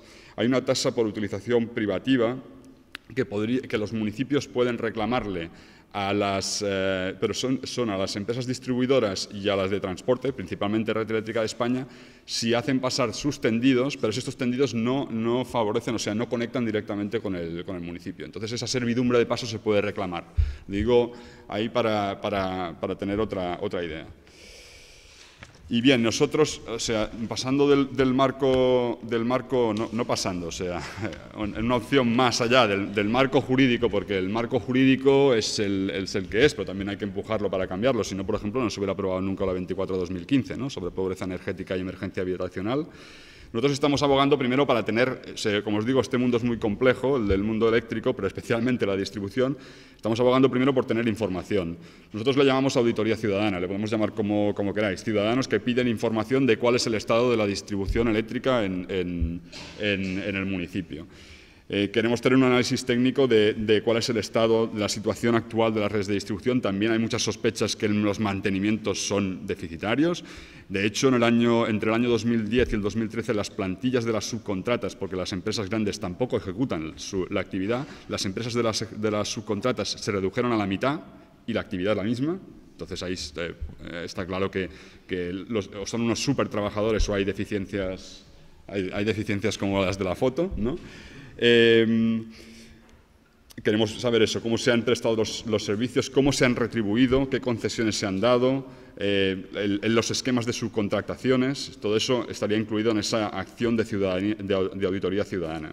Queremos saber, un debate público sobre ese futuro de las redes inteligentes y qué vamos a hacer con esos datos. Yo creo que eso es un tema bastante clave que depasa el tema energético, que es un tema de protección de datos de los ciudadanos y ciudadanas. Los smart meters, los contadores, entran en nuestras casas para llevar información a qué y para quién y para qué. Eh, tener un diálogo profundo con los trabajadores y trabajadoras del sector, porque son los que detentan toda la información de qué, cómo están las, redes de distribución. Y también, y eso ahí también es un reclamo a todos los que estamos aquí en la mesa, tenemos que explorar nuevos modelos de gobierno, eh, de gobernanza. Esa palabra bueno, es un poco controvertida, pero modelos de gobierno donde la ciudadanía participe con toda la complejidad que eso, que eso representa, pero sí que es necesario esa penetración de la ciudadanía para dar más profundidad de tiempo a los ciclos políticos positivos o negativos que puedan venir. ¿Vale? Para mí ya, ya acabado.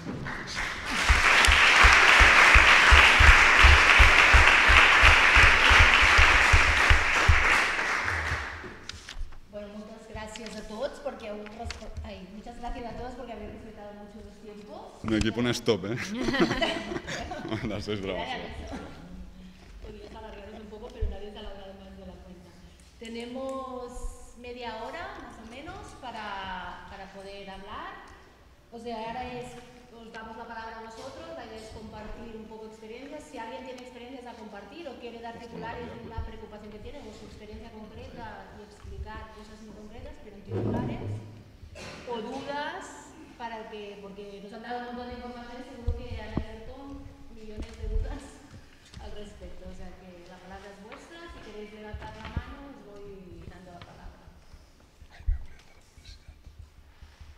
No apuntaré nombres, ¿eh? O sea, vais a hablar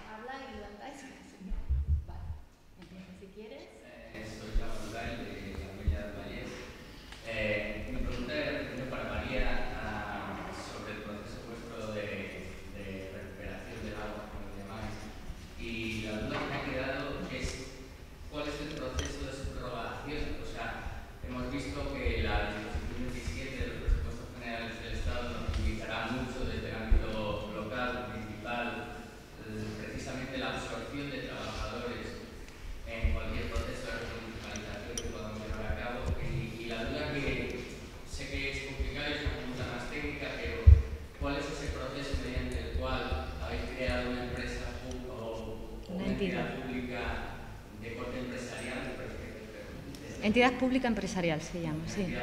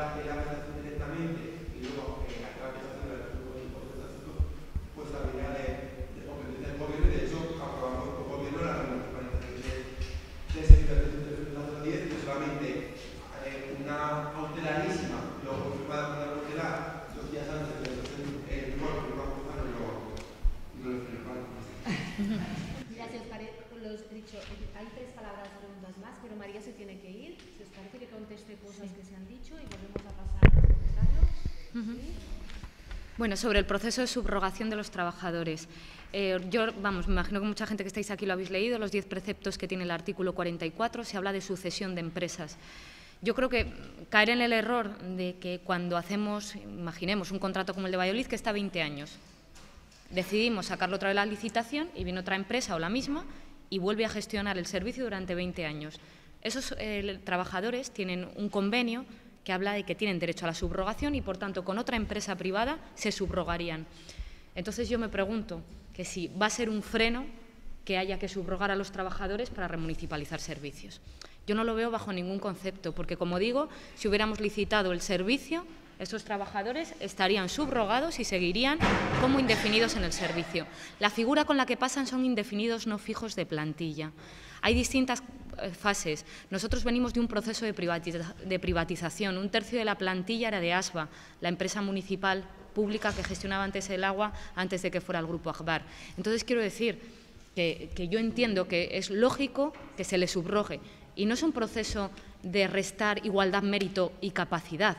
Es tanto como decir que todas las subcontratas que se tienen, que se han comentado, por ejemplo, en el Ayuntamiento de Barcelona, pues esos trabajadores no sabemos cómo han entrado. Muchos en Aguas de Valladolid sí que han entrado, sí que han entrado con pruebas. Ya lo sabéis también, de todas formas, que eh, la legislación general habla de un proceso de tres años para sacar las plazas a concurrencia pública. Yo también me pregunto, en muchos ayuntamientos en Valladolid nos hemos encontrado con interinos e interinas que llevan 20 años sin que sus plazas salgan, sin tener eh, probabilidad o posibilidad de, eh, de optar a puestos mejores o incluso a prepararse su oposición y consolidar como funcionario público. Por tanto, yo creo que, bien, visto el panorama que tenemos, no puede ser un freno el artículo 44 del Estatuto y subrogar a los trabajadores. Como digo, si yo hubiera licitado el agua en Valladolid, el día 1 de julio estos trabajadores seguirían subrogados durante 20 años con una empresa privada. Yo prefiero que trabajen para lo público, lo tengo claro. Otra cosa es que se ordenen los procesos y el problema fundamental que tenemos con la tasa de reposición que está encima de la mesa es que la gente se jubile y, como decía él hoy, no podamos sacar las plazas. A mí, a medio largo plazo, para el servicio lo que me preocupa es eso, que nos impongan unas tasas de reposición, al igual que vemos en limpieza, la gente se va jubilando y no podemos reponer el personal. A mí me preocupa más eso, porque la edad media de la plantilla es elevada y en los próximos años hay muchos trabajadores y trabajadoras de Aguas de Valladolid que se van a que se, van a, que se van a jubilar y, por tanto, yo lo que quiero es que hacer procesos de oferta pública ordenados y sacar primero sus plazas en igualdad, mérito y capacidad en concursos de oposición. Por tanto, yo creo que todo puede ordenarse, igual que con las interinidades, y esto no puede ser un freno a los procesos de remunicipalización y de control de gestión de servicios básicos como es el agua. En cuanto a cómo eh, lo estamos haciendo, hablábamos de la Ley de Presupuestos Generales del Estado. Se está pactando una enmienda, ya se ha pactado, para que no sea, digamos, eh, tan confuso. Si alguno lo habéis leído, por un lado se nos decía que no pueden pasar al sector público, por tanto no son empleados públicos y no hay que confundir empleados públicos con, con, funcionarios. Yo creo que la gente de derecho lo tenemos muy metido, pero en general parece que por trabajar para una entidad pública eres funcionario y no es así, no es así. Pero independientemente de eso, lo que se pretendía es que era una norma circunstancial, una norma temporal, como es una ley de presupuestos generales del Estado, sustituyera a una legislación básica del Estado como es el Estatuto. Y eso era una barbaridad. Lo que ahora se hace es adelgazarlo, aún así va a haber muchísima controversia, yo creo que va a haber muchísimo problema en los tribunales y yo creo que es lo que pretenden. Cuando se ponen normas son para intentar hacerlas cumplir. Yo creo que mejora la nueva redacción, pero aún así es, es peliaguda. Y en cuanto al proceso de creación de la entidad, lo que hemos hecho es la creación de, es como una empresa pública, una creación de una entidad a través del boletín oficial cuando eh, se ha, salido a exposición pública sobre lo que ha recurrido la empresa y la abogacía del Estado, el gobierno, el gobierno central. Y bueno, lo que nos dicen es que tenemos autonomía municipal para decidir cómo podemos gestionar el servicio. Eh, después, el proceso de subrogación lo hemos aprobado también en el Consejo de Administración y hemos eh, creado, un- hemos acordado con el Comité de Empresa un, un- un texto basado en el artículo 44 y ahora tienen que recibir la notificación individual los trabajadores. Entonces estamos en ese, en ese punto. Y, eh, y en cuanto a los directivos, el know-how, que es lo primero, cuando quieres remunicipalizar algo te dicen, pero si un ayuntamiento no tiene know-how. Tenemos 170 trabajadores que llevan trabajando para la empresa muchísimo tiempo y si la figura de la gerencia pues es un problema, nosotros hemos sacado un concurso público para la gerencia, ya tenemos gerente, la semana pasada le hemos nombrado y bueno, esperemos que vaya todo bien, pero bueno, el camino se hace, se hace andando. Gracias.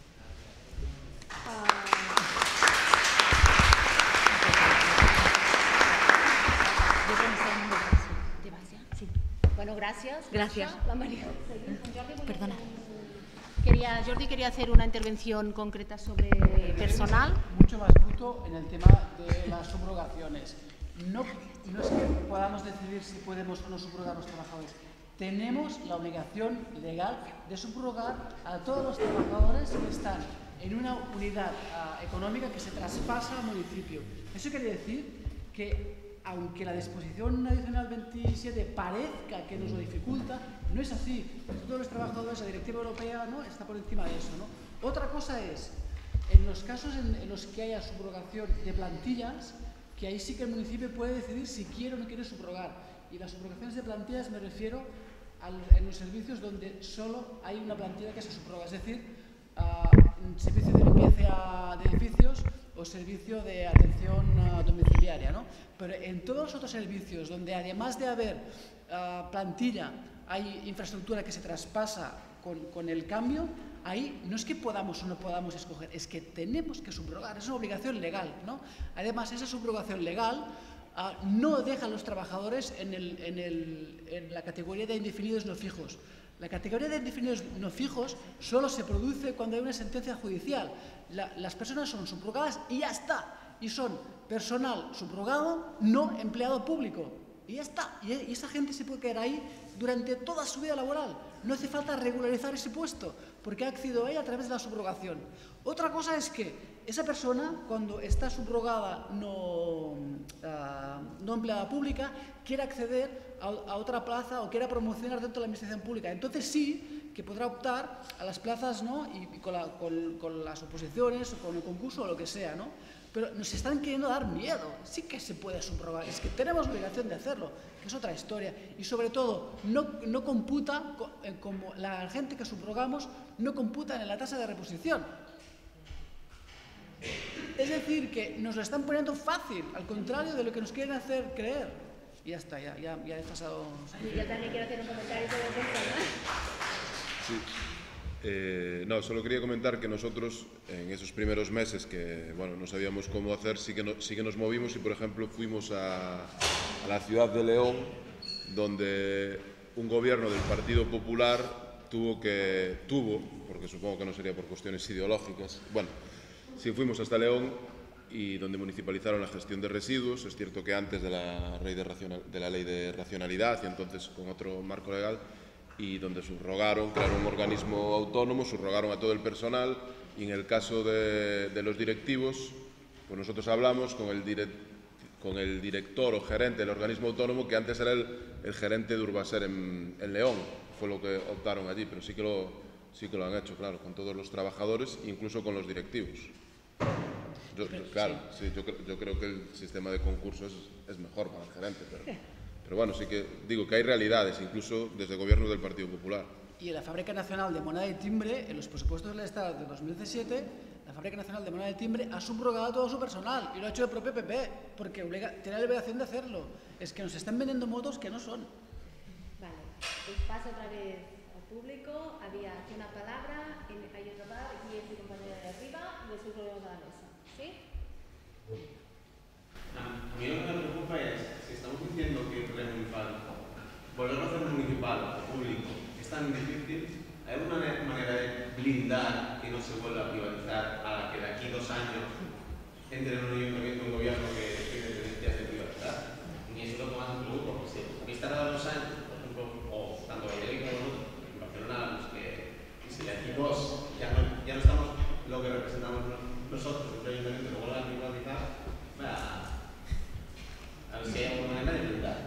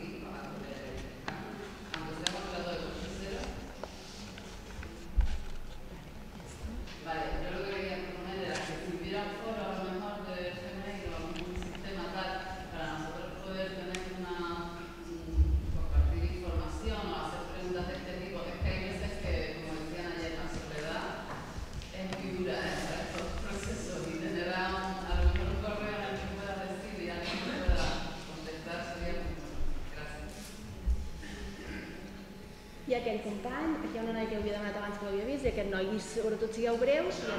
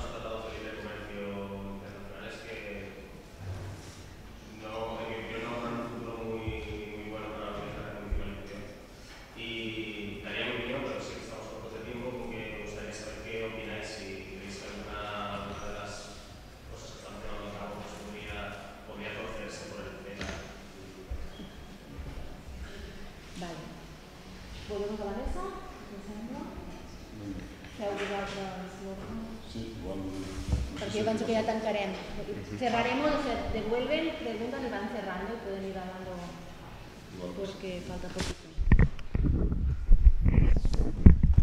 Vale, soy, soy breve. do- tre- tres cosas. Una, el compañero que ha preguntado sobre las municipales, ¿no? las empresas municipales en Cataluña. Eh, igual que las más de 20 cooperativas eléctricas locales que hay en el país valencià, es que son, son históricas, nunca han perdido sus redes de distribución, o sea, están cumpliendo ahora los 100 años. No hay casos de remunicipalización actual de las redes de distribución, son las que nunca las han perdido. Eso, eso nos da el mensaje también de que, evidentemente, ese servicio puede funcionar a nivel municipal perfectamente y, además, dicho por las empresas locales, o sea, eh, es lucrativo y eh, funciona muy bien a nivel económico. Y con- gracias a los beneficios de la distribuidora y las comercializadoras locales también han podido pagar otros servicios. O sea, esa es la, la idea. Sobre el compañero, una pregunta creo que bastante inteligente sobre el blindaje. Como, eh, seguro que ellos eh, podrán decir más en términos técnicos, pero o sea, como, como Xarxa per la Soberanía Energética apostaríamos por eso lo que hemos dicho antes, ¿no? modelos de, de gobierno donde esté, forme parte de la ciudadanía. En Berlín, por ejemplo, proponían que las eléctricas locales tuvieran dos cargos políticos, cuatro ciudadanos y luego siete trabajadoras. ¿no?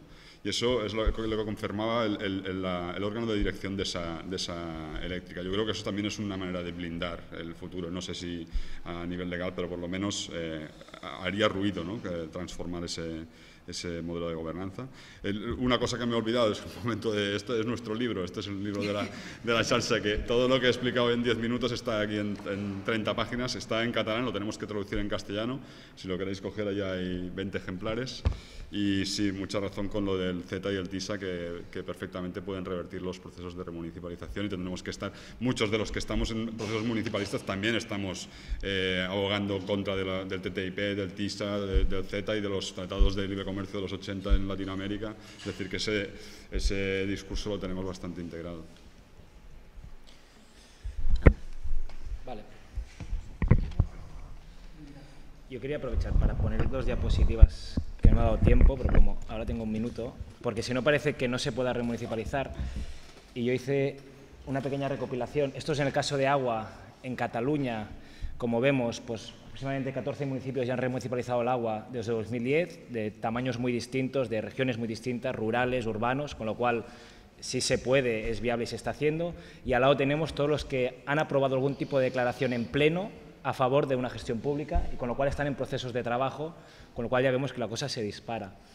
Y luego hice otra, que eso entrando rápidamente en Google, viendo distintas grandes ciudades de España, en verde procesos que habían culminado, yo ya he visto que aparecían más, porque esto se ha- ya está un poco desfasado, y en, y en negro eh, declaraciones que había habido este de los gobiernos de eh, procesos en marcha, con lo cual también vemos que realmente es un debate extremadamente transversal, de todos los colores políticos, de todas las regiones, de todos los tamaños, y que se está dando, con lo cual sí que es verdad que damos un mensaje de que tenemos muchas dificultades o, toda la legislación está pensado a la contra y por eso hemos encontrado todas las, de- las disposiciones adicionales 27, todas las herramientas que están apareciendo ahora, es un repliegue eh, estratégico del IBEX 35, de las puertas giratorias para de alguna forma eh, mantener su posición de poder en la liberalización de servicios públicos y, y la deriva que ha habido de las constructoras a este sector, y, pero eso no quiere decir que no podamos llegar a ello. ¿no? Y entonces tres ideas muy claras del principio.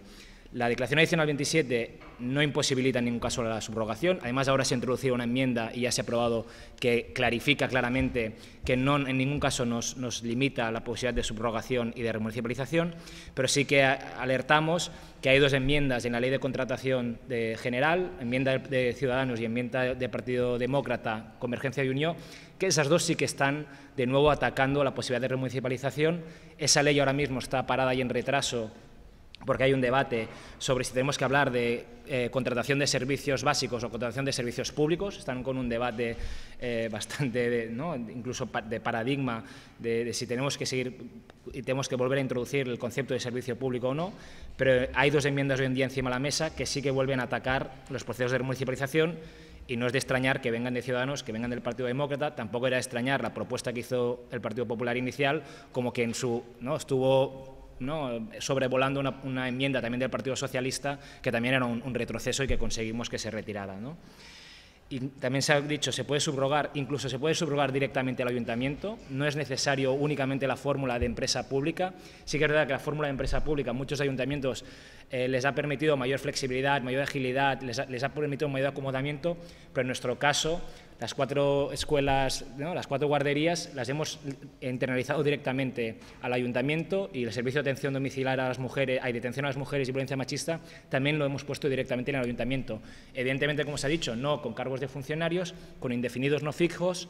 Ahora se está hablando de la posibilidad de añadir la coletilla de extinguir, pero se puede, incluso esa subrogación, hacerla directamente al ayuntamiento. No es necesario porque tener que crear una empresa pública o tener que buscar alguna empresa existente.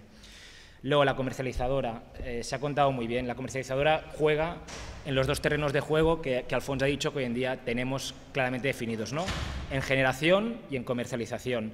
¿Y qué nos permite hacer? Por ejemplo, el contrato de suministro eléctrico del ayuntamiento, estamos hablando de más de 30 millones anuales, lo podremos licitar directamente eh, y con lo cual ya calculamos que nos ahorraríamos medio millón de euros y además podremos entrar, y esta es la novedad respecto al proyecto que había iniciado Convergencia Unión, entramos también en las casas y en los domicilios. Podremos tener también, pues de momento hasta 20.000 familias, poder prestarles directamente el servicio comercializadora. Eso nos da dos herramientas más. La primera es una mayor sensibilidad con todo el tema de la pobreza energética y la segunda, poder hacer un, un avance en el autoconsumo. Como sabemos, la legislación española prohíbe el balance neto, pero nosotros con esta comercializadora lo que podemos hacer es comprar la energía, producirla y luego descontarla del recibo, con lo cual estaríamos avanzando hacia un balance neto virtual, si nos permitáis decirlo, pero que supondría pues, poder hacer que cualquier vecino pueda instalarse su placa solar y desde el minuto uno todo lo que está generando ya se le está, aunque no lo esté consumiendo, ya se le está descontando del recibo y con lo cual le puede ser mucho más rentable toda esa inversión. Con lo cual es una herramienta entrar en el sector de la comercialización, que es verdad que es la última parte del ciclo, que es verdad donde hay menos margen, pero creo que es inter interesante que, hay, que, hubiera una oleada de municipios que apuesten por eso. Eh, Pamplona también está pues, en esa dirección. Luego habéis hablado de conocimiento y directivos, yo lo separaría. O sea, la pérdida de conocimiento no está directamente relacionada con, con el personal directivo. Es más, eh, seguramente cuando subrogamos, estamos subrogando ese conocimiento y muchas veces no son los directivos yo, yo, creo que sí que hay una pérdida muy fuerte porque hay una pérdida de gobernanza, de acceso a la información, de acceso a los datos, de pensar que nosotros, por ejemplo, el contrato de residuos se externalizaba el pliego, se externalizaba el seguimiento, se externalizaba la evaluación y se externalizaba la gestión. No le quedaba nada al ayuntamiento. O sea, realmente, ¿qué va a gobernar cuando lo tiene todo completamente externalizado? Luego no es de extrañar que aparezcan las noticias que aparecen pues, de irregularidades. ¿no? Y en el caso de los directivos, también tener muy presente que estamos hablando de grandes grupos empresariales, de familias, con lo cual sí que hay una queja de un sector empresarial, de pequeñas y medianas empresas que quieren entrar a, a esos sectores que están totalmente bloqueados por estos, grandes, por estos grandes grupos empresariales. Con lo cual hay muchos directivos que no, son que no pueden acceder a, nuevas, a, nuevos puestos de dirección porque están todos controlados por grandes grupos. ¿no? Y en el caso del agua o en el caso de la electricidad, pues son muy claros eh, que hay, ¿no? hay una empresa que tiene el 95% de la distribución y con lo cual se hace con todo ese mercado. Luego habéis hablado de qué hacer con la, con la, política de contratación de las empresas concesionarias. Eso ya es más complicado cuando intentamos, porque no sé si una cosa que hemos decidido es que somos responsables de los 12.000 trabajadores públicos y de los 15.000 externalizados, porque forman parte de un servicio público que se ha sacado concesión, pero están prestando un servicio público, con lo cual también nos sentimos que tenemos que tener cura y ahí es lo que yo había señalizado, todas las cláusulas que podemos en, entrar en los pliegos, pero es verdad que nuestra capacidad de incidencia allí es menor. Por ejemplo, el caso de las guarderías, prácticamente el único ahorro que nos, que nos ponía el servicio público, el servicio privado encima de la mesa es que en vez de pagar eh, 25.000 euros, que es el, precio medio del ayuntamiento, pagaban 18.000. Bueno, si esa es la gran política eh, que nos tiene que decir que es el gran avance del servicio, esa privatización, lo único que nos llevaba era una mayor precarización, una desmotivación del, del personal y con lo cual un impacto. Nos venían las propias familias quejándose de lo indecente de los salarios de las profesoras en las guarderías, con lo cual eh, pues ahí también podemos, podemos introducir herramientas. Luego ah, nos habéis dicho a cómo si, eh, si se puede blindar. Yo creo que eso lo tenemos que, que, trabajar más. Sí que es verdad que en última instancia lo que tendríamos que el ayuntamiento puede, tiene que poder ser soberano en todas sus decisiones. Lo, la realidad es que lo que vemos es que se introducen complejidades y dificultades para que se desincentive hoy en día la gestión pública y se fomente la gestión privada. ¿no? Desde, lo vemos, ¿no? que no puedas eh, contratar personal, que no puedas hacer inversiones, que no te puedas endeudar, etcétera. Con lo cual, en esa lógica de poner facilidades o poner dificultades, creo que sí que podríamos encontrar eh, herramientas. La otra es poner eh, grandes consensos sociales. Si, y se había hablado alguna vez, ¿no? Poder blindar que cualquier cambio de gestión se tenga, que, se tenga que hacer mediante una consulta a toda la ciudadanía, porque no se han aprobado ni por, programas electorales ni se han aprobado en consultas ninguna de las privatizaciones de este país. Pero eso es verdad que en última instancia el plenario del ayuntamiento tendría la última decisión. Y ya acabo, habéis preguntado si se puede seguir un contrato tras finalizar. Sí que se puede seguir. Os situaríais en una situación a precario.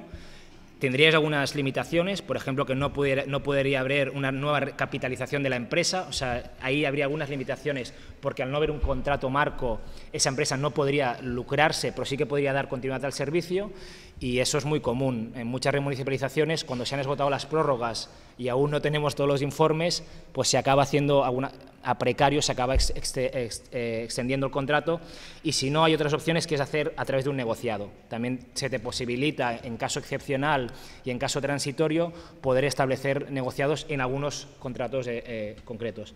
Y sobre la Directiva Europea y tratados de libre comercio, yo creo que en general no sé, eso habría que meditarlo más, ¿eh? Pero sí que toda la liberalización de sectores nos debilita. Y os voy a poner el ejemplo de, la comercializadora. La Ahí hay una diferencia entre la comercializadora y la funeraria. Los otros servicios, hacemos una remunicipalización de un servicio público y lo prestamos directamente. En el sector eléctrico, en el sector funerario, hacemos algo muy distinto.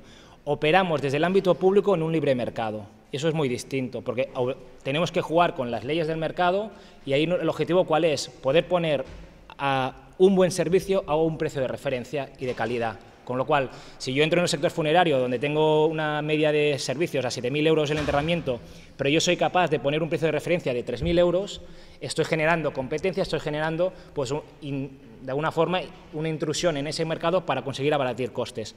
Pero yo estoy jugando en un marco de libre mercado. Y, por ejemplo, en el caso de la energía, ¿qué cosas podemos hacer? Pues en el caso de que sea y a ver si, si me, lo cuento rápido, pero para que entendáis. En el caso de que sea un ente propio, yo, por ejemplo, puedo adjudicarme directamente el contrato de compra eléctrica. Si no fuera un ente propio y estuviera operando en el libre mercado, me tendría que presentar a un concurso del propio ayuntamiento. O sea, una empresa pública del ayuntamiento se tendría que presentar a un propio concurso del ayuntamiento.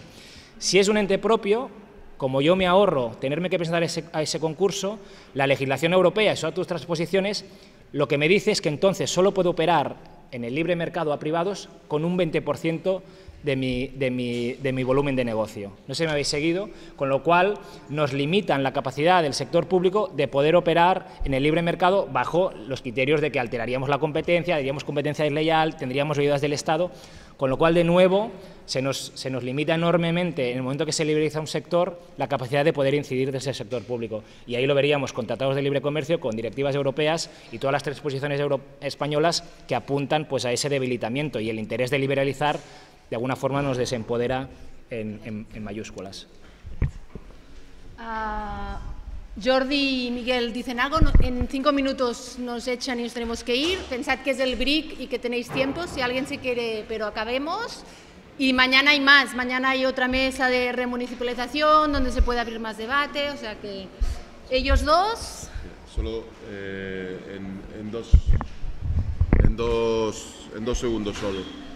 Cuando hablamos de que no se pueden incorporar trabajadores o estamos hablando de la subrogación y si esos trabajadores se incorporan a plantillas públicas, la realidad es que actualmente se están incorporando personas a las plantillas de los ayuntamientos por la cesión ilegal de trabajadores.